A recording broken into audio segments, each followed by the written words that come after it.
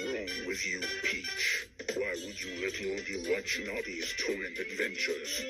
He was just watching it for fun. Bowser, That's not what I heard. I heard that Lordy was actually watching Noddy's Toyland adventures because he was trying to learn how to get past obstacles. what are you talking about? Luigi just likes watching Noddy's Toyland adventures because it is cute.